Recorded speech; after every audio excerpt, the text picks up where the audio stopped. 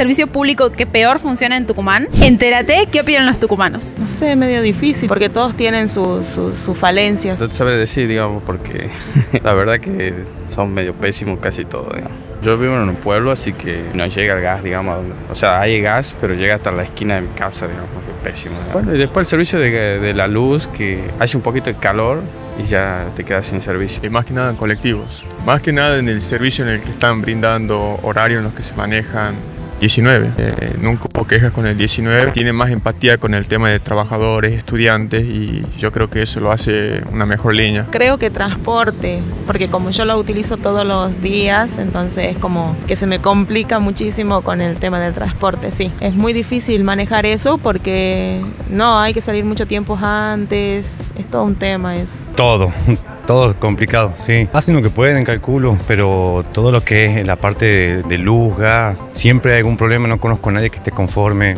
Eh, las, porque no cumplen, nosotros pagamos la, las boletas y cuando vos lo necesitas nunca están.